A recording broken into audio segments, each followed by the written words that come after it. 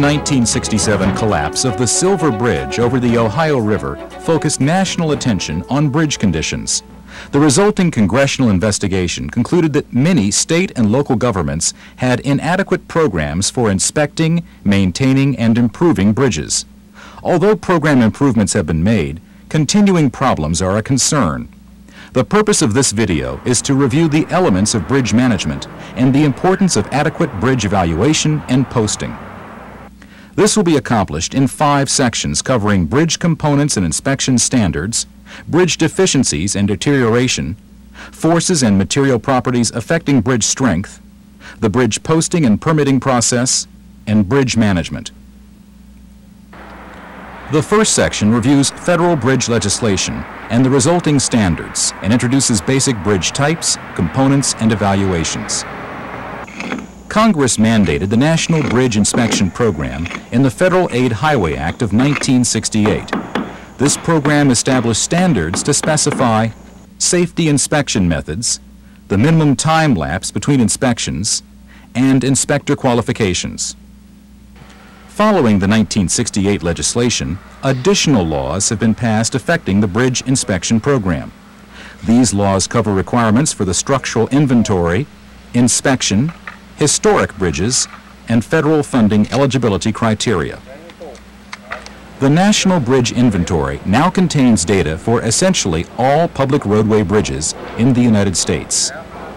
According to inventory data, there are over 575,000 bridges. Under Federal Highway Administration criteria, almost 21% of these bridges are structurally deficient and 14% are functionally obsolete. In order to ensure the integrity and safety of our bridge system, periodic inspections must be performed. An individual in charge of a bridge inspection team must be a registered professional engineer or be qualified for registration as a professional engineer under the laws of the state or must have at least five years of experience and have completed a comprehensive training course based upon the Bridge Inspection Training Manual, or must have a Level 3 or 4 Bridge Safety Inspection certification. The inspector's duties include planning and preparing for bridge inspections, inspecting bridge components for deterioration, sketching bridge components, photographing specific bridge problems, taking technical measurements, making basic computations, and maintaining inspection records. Bridge inspectors currently use many inspection techniques. Close-up visual inspection is the first procedure used by inspectors. Within arm's reach, the trained eye is the most valuable inspection tool. Several physical techniques are also used. Sonic methods are used to detect hollow areas and delaminations in timber and concrete members. Hollow areas found in timber members can be further examined by coring into the wood to remove a sample for study to measure the void size. Ultrasonic techniques are used to detect cracks, delaminations, and other deficiencies in welds, steel members, and timber members. Cracks in steel members can also be detected by inducing a magnetic field with a power source. Iron compounds are applied on the member and are attracted into recognizable patterns in the area of a flaw.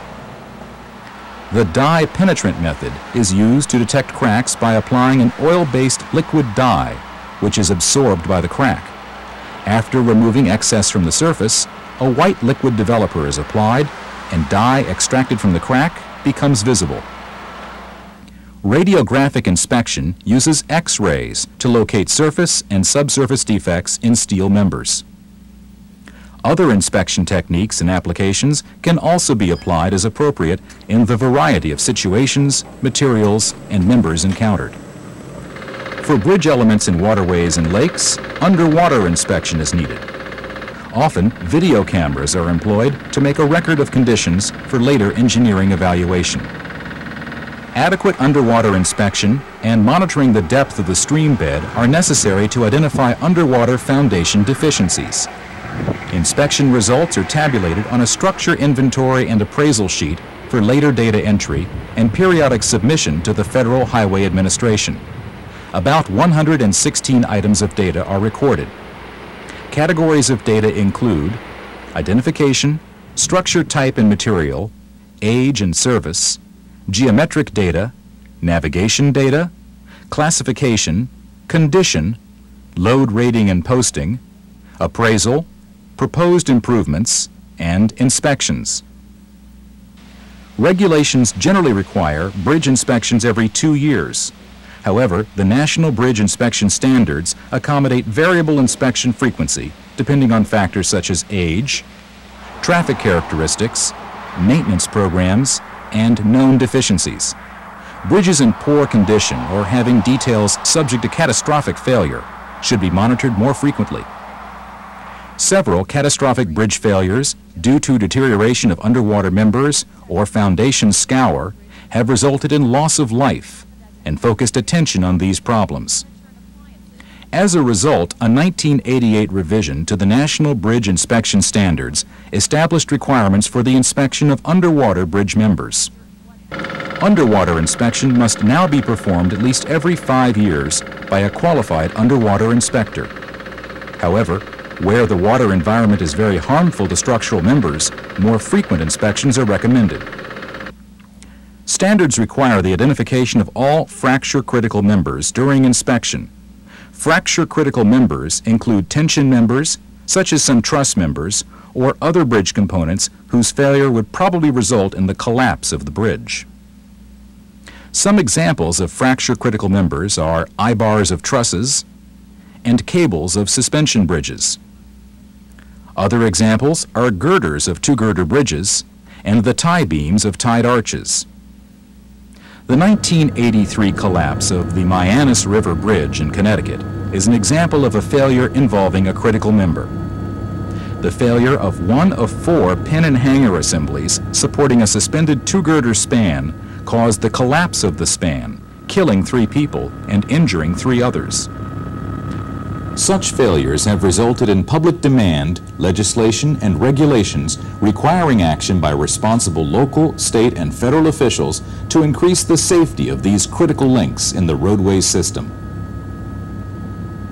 Bridges serve two general functions, to span natural barriers such as ravines and waterways, and to provide man-made grade separations over other roadways or railroads. There are many bridge components, the deck directly supports and distributes the live load, primarily vehicular traffic, to other supporting members. The deck can be a concrete slab, timber planking, a steel grid or a steel plate, and is sometimes overlaid by asphalt. Rails at the side edges of the deck provide a safety barrier to retain vehicles on the bridge if control is lost. The superstructure receives the deck loads and supports the load with various combination of transverse and longitudinal beams known as stringers, floor beams, and girders. Bearings are hinge and roller or pad elements located between the top of the substructure and the bottom of the superstructure. Bearings transmit the superstructure load to the substructure and enable the superstructure ends to rotate and slide as the girders deflect, expand, and contract. Joints are also provided in the deck to allow these movements. The substructure, which supports the superstructure, also has several components. Abutments support the end of the extreme span of the superstructure and usually retain or support the approach earth fill. Caps are cross beams located on the tops of piers or piles to receive and distribute superstructure loads to the substructure. Piers support the ends of the spans in multi-span structures at intermediate locations between abutments. Piles are linear foundation elements that are driven into the earth to carry loads through weak soil layers to stronger layers. Other foundation elements include footings and drilled or excavated piers. These basic components are constructed in many different configurations and materials, such as concrete, steel, timber, and composites, to provide economical design solutions in different situations. This has yielded a wide variety of bridge types, ranging from large cable-supported and truss bridges to small culverts and pipes. However, all have one thing in common. Maintenance is needed to combat the forces of deterioration. This section highlights some types of bridge deficiencies and deterioration.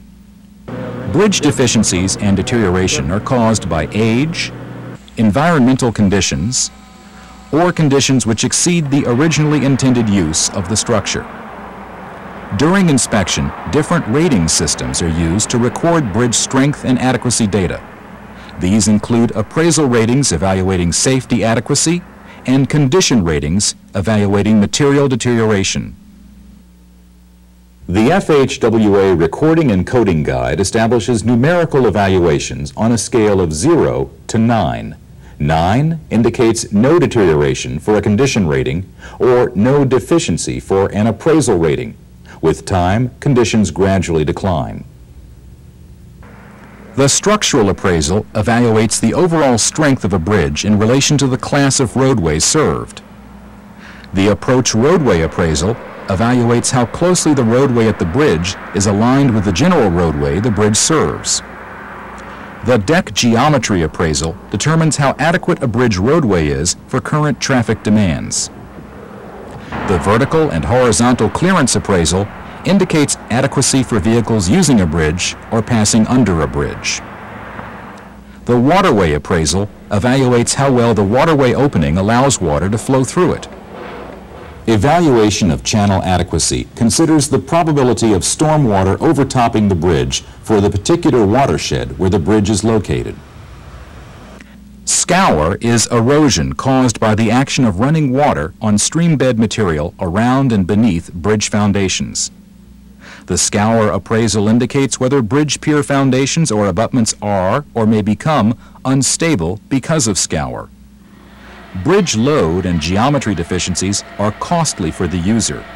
Deficiencies in load capacity cause vehicle detours resulting in added time and mileage costs. Vertical clearance deficiencies also cause detours and sometimes cause accidents. Deficiencies in deck width or approach roadway alignment may cause accidents.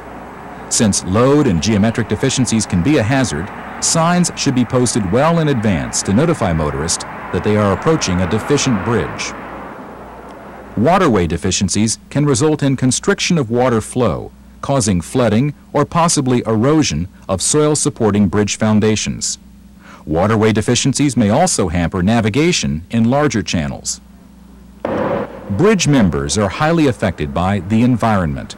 However, different bridge materials show different types of deterioration problems. Deterioration of component materials can lead to structural deficiencies. Steel members corrode after significant paint or protection system deterioration. This corrosion can cause substantial loss of the net area of the metal section and thus a loss in strength. Steel members are also susceptible to cracking and brittle fracture, which in many cases is related to the effects of repeated loading or fatigue beyond an allowable level. Concrete members can show a variety of problems. Scaling is the continuing gradual loss of surface mortar and aggregate over an area. Spalling is the loss of a concrete surface thickness over an area. Such deterioration can be caused by deficient materials or construction, by unexpectedly severe environment, or by reinforcing steel corrosion. Cracking is a fracture in concrete which may be found in many patterns. These cracks may be caused by load-induced stress, restrained thermal or shrinkage volume changes, or internal chemical reactions and resulting expansion due to deficient aggregate or corrosion of reinforcing steel. When the concrete is cracked, water and external agents such as de-icing salts penetrate the member, causing corrosion of the embedded steel. Delamination is the separation of concrete along a plane parallel to its surface, often at a layer of corroded reinforcing steel. Timber bridge members are susceptible to decay, infestation, and weathering. Decay is caused by the penetration of moisture, Insects and marine borers weaken the structural strength of the wood. Condition ratings can also be affected by mechanical damage due to collisions, water erosion, and scour. Bridges may be struck by vehicles or by ships. These accidents can result in serious damage and even complete collapse of the bridges, causing loss of property and life. Underwater members are highly affected by an adverse water environment. Moving suspended soil particles, debris, and wave action may cause the underwater members to deteriorate. Scour is a critical problem when the channel and foundations are inadequate. Scour causes bridge foundations to settle, and if conditions are very severe, the bridge can collapse. Scour is the reason for more than 50% of bridge failures. Scour and other underwater problems can suddenly appear even though a bridge has been in service for many years. Deforestation, land changes, and development can gradually change the nature of a watershed, which can cause normal rainfall to accumulate in waterways more rapidly, increasing volumes and velocities to new record flows. Situations which were adequate at the time of construction can change. The Schoharie Creek bridge failure, which occurred in New York in 1987, was due to scour. The magnitude of this tragedy is a reminder of the necessity of periodic underwater inspection and careful evaluation of foundation conditions. In order to understand the importance of strength evaluation and load posting, a knowledge of the forces and material properties affecting bridge strength is important. Sound bridge evaluation must include an analysis of the forces or loads acting upon the bridge and the effects of these loads. Forces are classified as dead, live, and secondary loads. Dead loads are forces which act continuously on the bridge, such as the combined weight of all bridge components. Live loads are forces which act intermittently. Live loads consist primarily of the weight of vehicles. Secondary loads include earth pressure, wind, temperature, stream flow, and ice. To help determine the maximum live loads a bridge can carry, engineers have produced a series of hypothetical truck configurations. These configurations simulate the many actual vehicles which use the bridge. The live loads represented by these hypothetical configurations are concentrated at wheel locations on two or more axles. The effects of a series of vehicles is also considered. Standard truck configurations are identified by designations such as H15-44 or HS20-44, which define the load magnitude, number of axles, spacing of axles, and load distribution to axles and wheels. When an engineer evaluates the strength of a bridge, a primary objective is to determine the maximum weight of a vehicle that can safely use the bridge. In this way, a bridge can be posted with an allowable load if it does not have sufficient strength to support the maximum legal truck weights. Since for short bridges, all axles of a truck may not be on the bridge simultaneously, multiple levels of total truck weight may be allowed. For example, a bridge might safely support only a 14-ton capacity for a single short truck but a 20-ton truck-tractor semi-trailer combination might also be able to use the bridge because only part of the longer truck may be on the span at one time. The loads acting upon a bridge induce a variety of internal stresses in the bridge members. Stress is the force per unit area. Tension stress elongates the bridge member. Compression stress shortens the bridge member. Bending, shear, and torsion are other forces causing various distributions of stress and deformation in bridge members. Stresses cause strains or deformations in materials. The relationship can be shown by means of a stress-strain diagram. The diagram plots the amount of load or stress vertically with the resulting deformation or strain plotted horizontally. Some characteristics of a given material can be shown in the stress-strain diagram. The elastic region is the range in which deformation is proportional to stress. Within this region of loading, the material will return to its original shape when the load is removed. Beyond the elastic region, the yield point is the stress level above which there is a sudden significant increase in the deformation and permanent deformation if the load is removed. The ultimate strength is the amount of stress occurring at or just before rupture. To avoid damaging a structure, material stresses must be limited to a level below the yield point by a factor of safety. This stress level is the maximum allowable service stress. Different bridge members are subjected to different stresses. Cables are members which support tensile forces. eyebars and some members in trusses are also tension members. Members such as piers, piles, and some truss members primarily support compressive forces. Shear members are subjected to transverse forces or scissor-like forces. Under some circumstances, short span beams such as pier caps are shear critical members. Girders, beams, and stringers are primarily bending or flexural members incurring both tension and compression as well as shear. Connections are critical to bridge construction and strength. Because they are points of discontinuity in the materials, members with deficient connections are often the cause of failures.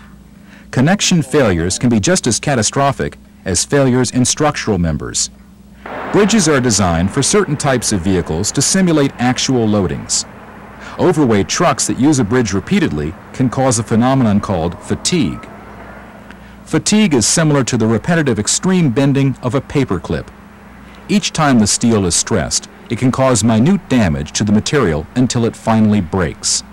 If overweight trucks use a bridge repeatedly, the components may gradually accumulate internal damage until a failure occurs, perhaps under a relatively low loading. Three factors affect the fatigue life of a bridge. First, the stress range is the algebraic difference between the maximum stress and the minimum stress calculated at the detail under consideration. Second, the number of cycles is the number of loadings that pass over the bridge during its service life. Third, the type of detail refers to specific bridge elements or connectors, such as beams, cover plates, stiffeners, welds, joints, pins, hangers, and eyebars. Some of these details are more susceptible to fatigue failure than others.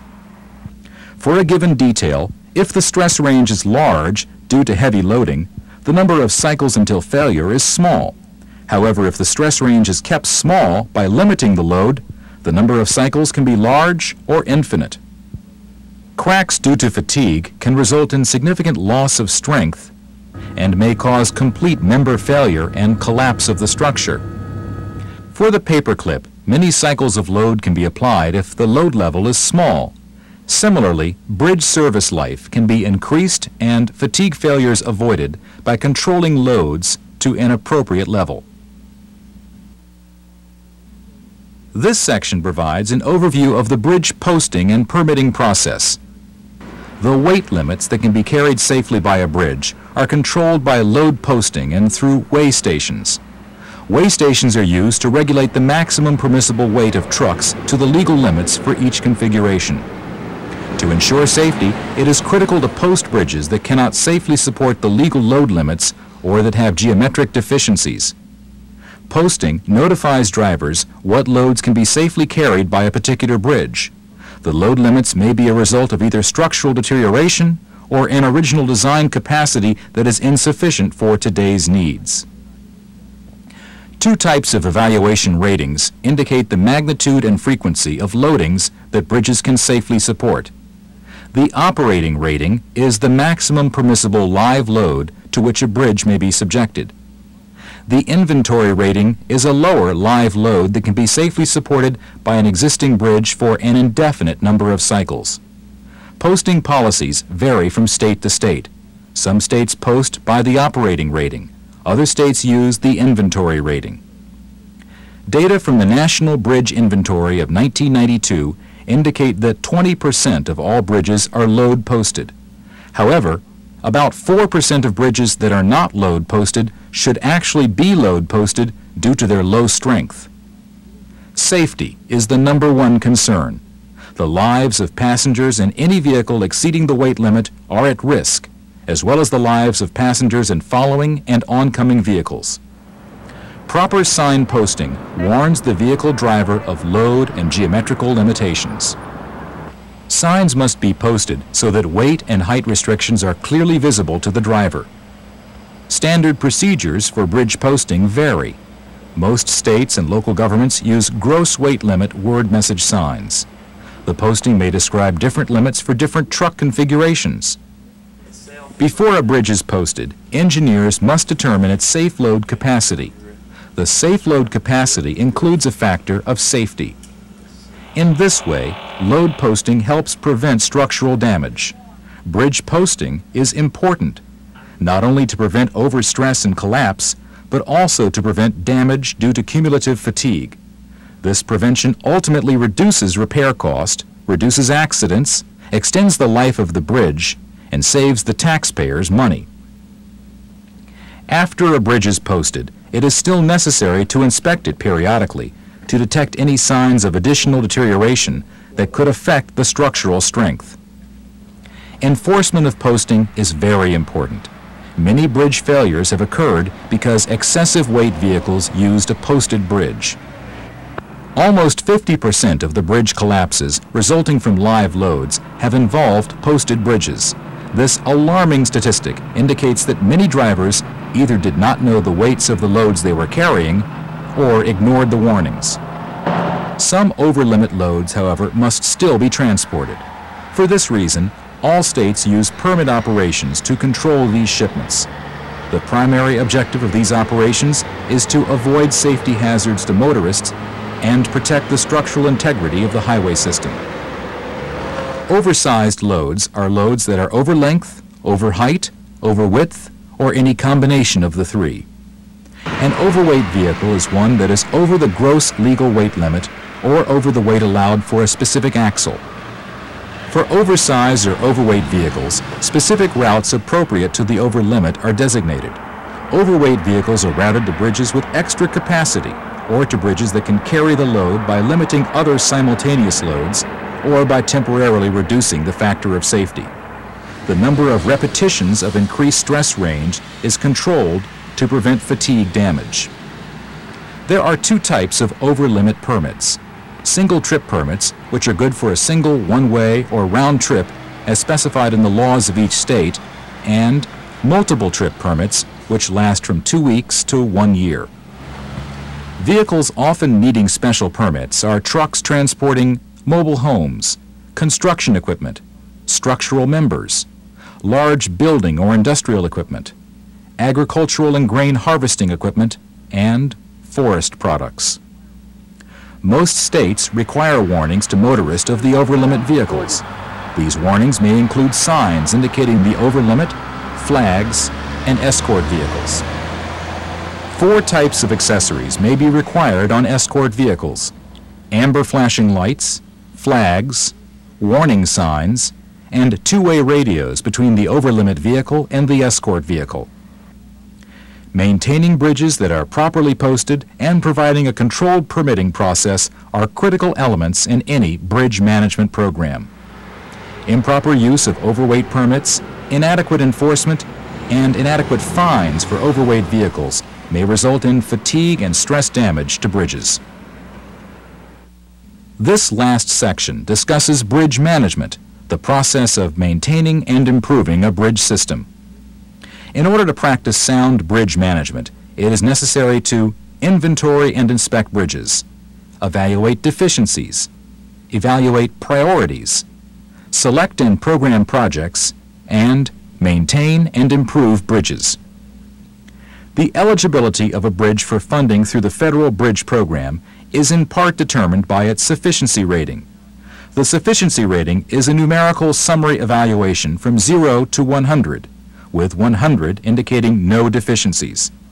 The rating evaluates structural adequacy and safety, serviceability and functional obsolescence, and essentiality for public use. The structural adequacy and safety are determined by the condition ratings of the bridge superstructure and substructure or of the culvert. Serviceability and functional obsolescence are determined by the quality and condition of the underclearance approach roadway alignment, deck condition, deck geometry, and number of lanes. Essentiality for public use is indicated by the average daily traffic, by the detour length if the bridge had to be closed, and whether the bridge is on a defense highway. Federal criteria also evaluate if a bridge is structurally deficient or functionally obsolete.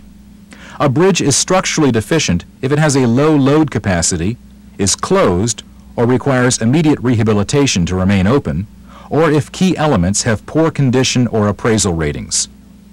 A bridge is functionally obsolete if its deck geometry, load capacity, underclearances, or approach roadway alignment no longer meet the usual criteria for the roadway served.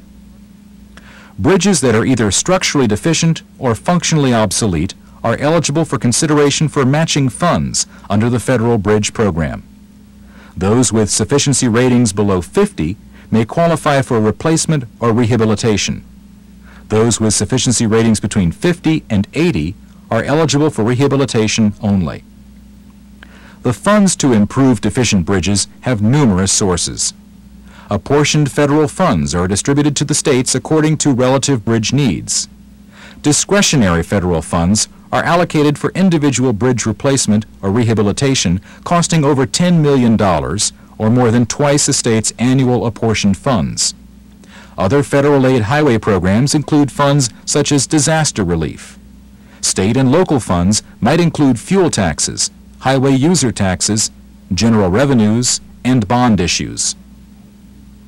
Federal funds allocated for bridge improvements cannot be used for earth structures, causeways, connecting roadways, interchanges, ramps, and long approach fills. Although preventive maintenance, such as cleaning the drainage system, tightening loose bolts, repairing potholes, filling cracks, painting, and removing debris, is critical to extend bridge life, these activities by themselves do not remove major deficiencies. Thus, preventive maintenance, although essential, does not qualify for special funding programs. Local and state governments should adopt maintenance levels of service that specify the desired condition to be maintained for each bridge component, and then budget adequate funds for this purpose. Rehabilitation or replacement options which adequately remove deficiencies are eligible for funding consideration.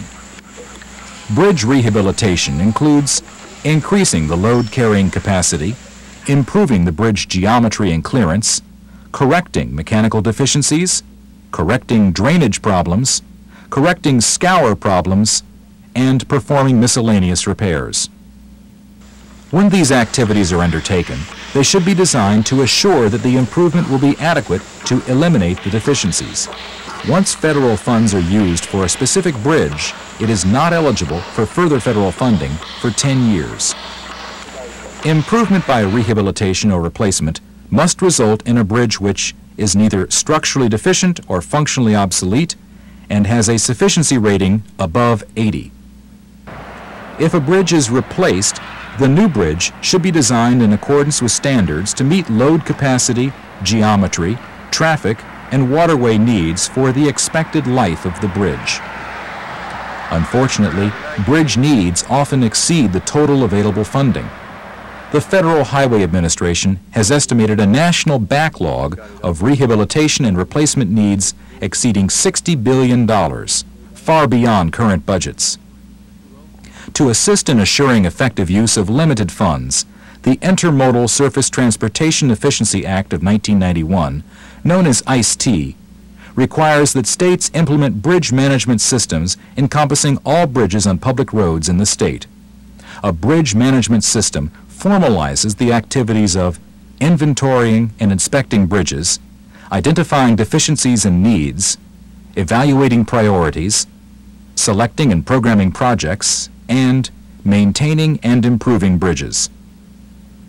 Such a system should have a suitable database, incorporate analytical tools for assessing needs, and optimize program actions among maintenance, rehabilitation, and replacement alternatives. Economic evaluation of engineered alternatives considering life cycle cost of both the agency and the user is considered to be the most defendable basis for selection of bridge improvements.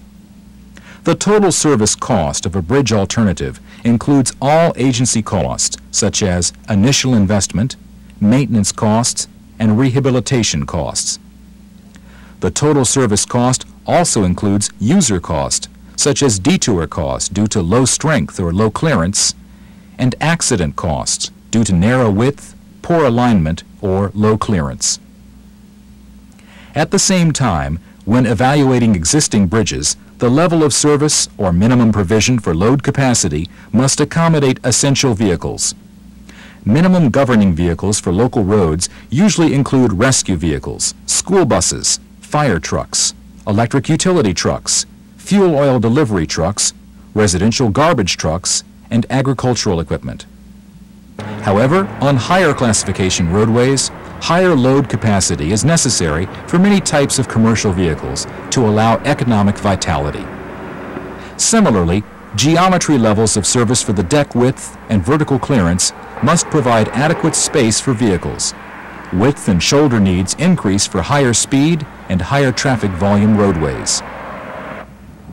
The objective of any bridge management system should be to make most efficient use of available funds by minimizing the total system cost to the ultimate owner, the user taxpayer. At the same time, the management system should provide levels of service for load capacity and geometry, which will enable the nation's bridge system to meet the public's needs with safety. Proper bridge evaluation and posting are an integral and critical part of this process.